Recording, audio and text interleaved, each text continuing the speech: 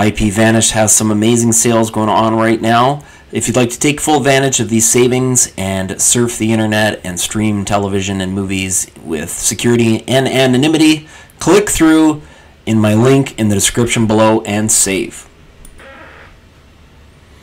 Alright, let's take a look at installing an add-on for movies and TV shows that does require a paid service. It's called Shazam. So firstly, let's click on here in the gear and press the gear.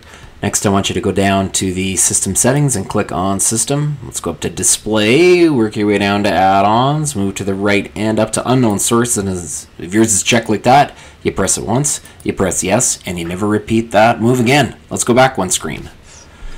Let's navigate over here to this folder and click the file manager. I'm getting a lot of updates here. Let's go down this list until we get to the very bottom source, which is, or the very bottom option, which is add source here. Let's double click. Let's move up to the blue none. Select that.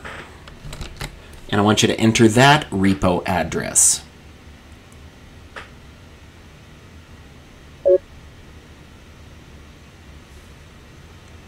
Once you've entered that address here, let's click OK. It comes up with the name repo.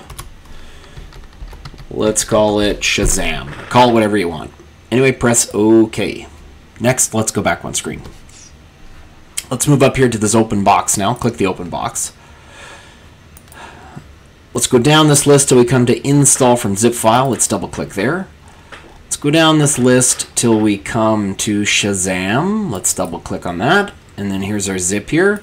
Click the zip. It's going to start to unzip that file and we'll see a notification in the top right hand corner when that occurs.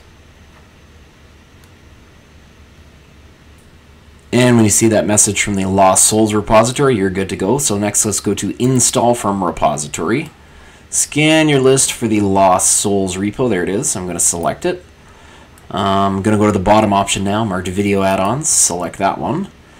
And move to Shazam. There it is. So click on Shazam go to install, and lastly press OK. And when you see that message there, it has installed properly. So let's go down here and click on Shazam and click Open.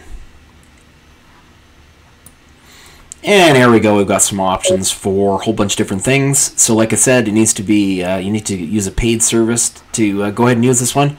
But it's working well. So go ahead and enjoy Shazam!